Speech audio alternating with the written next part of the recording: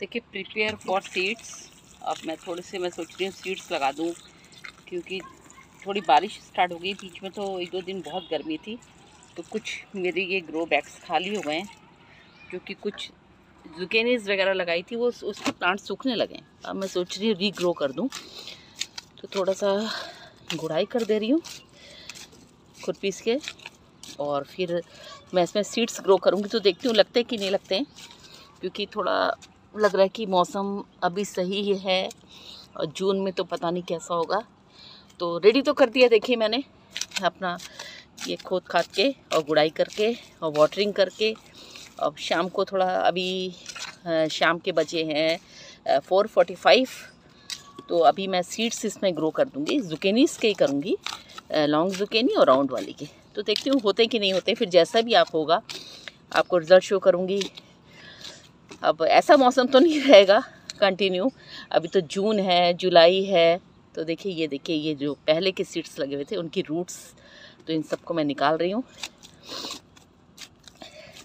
उनमें फ्रूटिंग तो होती लेकिन उतना अच्छा साइज़ नहीं होता फ्रूटिंग का तो अब मैं फिर से सीड्स लगा के देखती हूँ।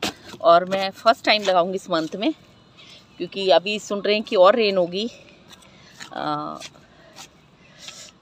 वेदर फोरकास्ट में देख के मैं बता रही हूँ आपको कि तो मैं सोच रही हूँ शायद वो सेट हो जाए सीड्स तो अभी कुछ मैंने सीड्स दोबारा और पॉट्स में भी ग्रो बैग्स में लगाए हैं और ये सब खाली हो गए, इनमें जुकेनिस थी तो वो ख़राब हो गए। थे बहुत छोटे छोटे फ्रूट्स आ रहे थे और ये वाला देखिए, एक रेडी कर दिया है। तो थोड़ा सा इसको मॉइस्चर इसमें से थोड़ा मेंटेन करके इसमें मैं सीड्स लगा दूँगी। तो देखते हैं कैसा रिज़ल्ट निकलता है। तो इस तरह से आप सॉइल को देखिए, इस तरह से जब भी आपको सीड्स लगाना दूसरा सॉइल्स को ऐसे ऊपर नीचे इस तरह से गुड़ाई कर दीजिए। आपके पास जो भी साधन हो, ये देखिए, थोड़ी ड्राई लीव्स और जो भी जड़ वगैरह है, पहले वाले प्लांट्स की, उससे।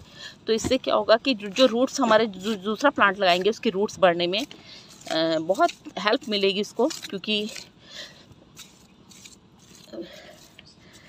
मिट्टी ढीली ढीली होगी थोड़ी सी, अच्छी होगी, जिस तरह से हवा अच्छी तरह से मिलेगी सीड्स को, जो भी हमारे सील्डिंग्स वगैरह उगेंगी। तो देखिए जैसे ये सब पूरा उड़ा तो इस तरह से ये देखिए। तो इस तरह से मैं कर रही हूँ, और फिर इसमें मैं अभी सीड्स लगा दूँगी। देखिए जैसे नीचे देखिए बहुत ड्राई ड्राई सी है, क्योंकि मैंने इसे पानी वगैरह भी नहीं दिया था, बहुत दिनों से। क्योंकि इसमें कुछ था ही नहीं। तो देखिए, ये देखिए साइड में कितनी ड्राई है। देखिए, इसको मैं आज पूरा अच्छी तरह से अभी खूब वाटरिंग कर दूँगी। ये देखिए, ईटे के भी।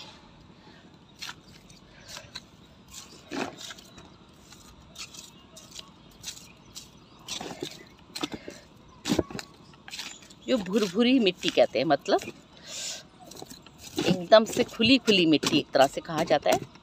तो उस तरह से सॉइल होनी चाहिए, कोई भी सीड्स लगाते हैं। तो जो रूट्स डेवलप होने में बहुत हेल्पफुल होता है। तो ये देखिए, इसीलिए कर दिए इसको तो मैंने अच्छी तरह से कर दिया। ये देखिए, ये तो सॉइल मेरी बहुत अच्छी है। ये देखिए, ये। तो सॉइल रेडी करने का ये तरीका है कि पहले हम अच्छी तरह सॉइल को देख लें कि कहीं ड्राईनेस नहीं है। ये थोड़ी ड्राई सी सॉइल थी शुरू से ही और उसमें वाटरिंग भी अच्छे से नहीं, मेरे को लग रहा है हुई है। तो इस तरह से अब इसमें मैं सीड्स ग्रो कर दूँगी। तो देखूँगी कि होते हैं कि नहीं होते हैं, क्या होता है। फिर भी मैं, क्योंकि खाली है अभी तो करूँगी मैं जुकेनिस के राउंड वाली और लॉन्ग वाली।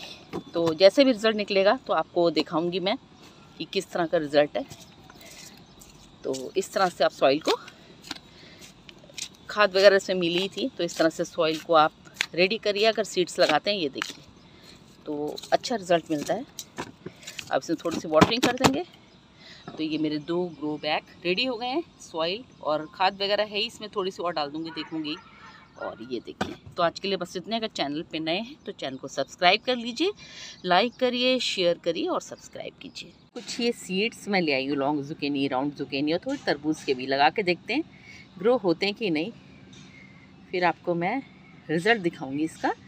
और मिट्टी की गुड़ाई कर दी सॉइल अच्छे से अपनी रेडी कर दी। तो देखते हैं कि देखिए क्या होता है, बीज उगते हैं कि नहीं उगते हमारे। जैसे रिज़ल्ट मिलेगा, आपसे ज़रूर शो करूँगी।